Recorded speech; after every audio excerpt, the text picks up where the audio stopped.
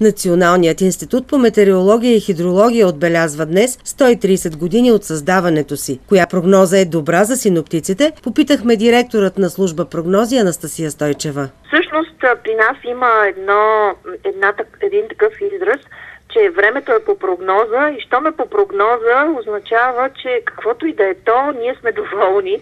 А, в смисъл, малко егоистично звучи, но а, когато сме прогнозирали дори опасни явления и те се случат, за нас това е доста удовлетворяващо наистина, защото сме предвидели това и,